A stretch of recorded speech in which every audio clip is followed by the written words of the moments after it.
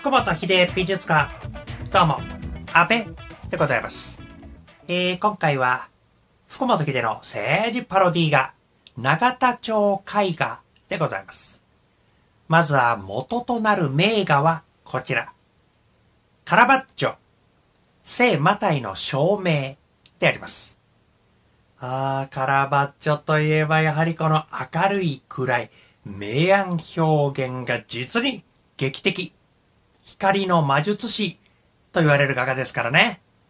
何が書かれてるかというと、聖書、マタイの福音書のお話であります。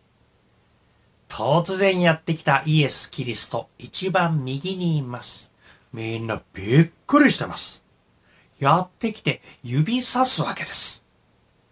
マタイを指さして、私についてきなさい。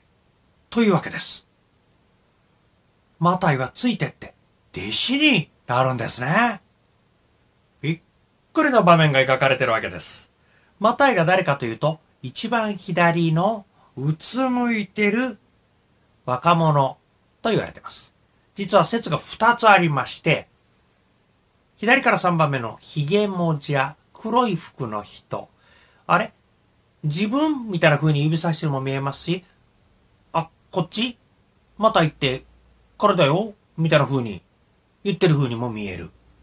この人がマタイとも言われたんですけど、今のところ一番左のうつむいてる男性がマタイという説が有力ですね。さあ、それではパロディーがカラバッチョ聖マタイの証明ではなく、こちら、空回り政治家の集大であります。ここはどこなんでしょうか？マタイの福音書ではありません。博多のフグ飲書です。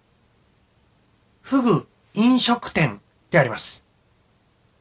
突然、やってきたのは、週刊文春の記者。みんなびっくりしてます。はあ、バレてしまった。9人で密になって会食してるのがバレてしまった。しまった。テーブルの上にはフグがあります。ああ。そして一番左で石破さんがうなだれてます。そして指さしてるのは山崎拓さんですね。え、私？と言ってるようにも見えますけど、うん。まあ山崎拓さんのことじゃなかったんですね。ええまあ文春にスクープされたことありますね、過去にね。でも今回は関係なかったんですね。うん。弱りましたね。ねえ。ついてきなさいとは言われません。その代わり、ついてない。そんな風に石破さんは思ってます。後ろの窓。二階幹事長、菅総理らしき人が見てます。やはり、何か仕組まれたんでしょうか。誰かが裏切ってリークしたんでしょうか。足を引っ張ろうとしてるんでしょうか。いろんなことを想像してしまいます。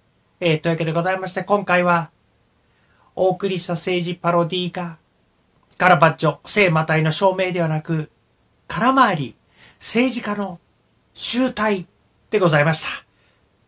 というわけでございまして、以上お送りしました。安倍でございました。えー、ついてないな。石破でございました。うん。皮肉を込めてエールを送りたいと思います。えー、チャンネル登録、いいねの方もどうぞよろしくお願いします。どうもありがとう。